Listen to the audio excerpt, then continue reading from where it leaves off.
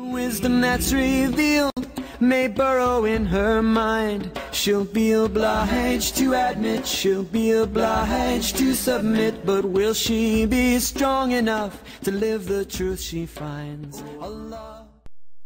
Which of Allah's favors can we deny? Above all creatures, He chose us to be high.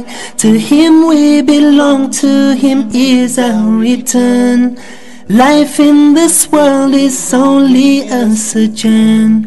To the angels he commanded that man be respected. Shaitan he did not, and so was he rejected. Compared to the angels, we are but clay. As long as Allah we obey, we'll not go astray. As the best of his creation, only us did he deem. This for us is honor, this high esteem. His Qudrat it is that cause winds to blow. He gives us provision so that we may grow. Which of Allah's favors can we deny? Above all creatures, He chose us to be high. To Him we belong, to Him is our return. بسم الله الرحمن الرحيم.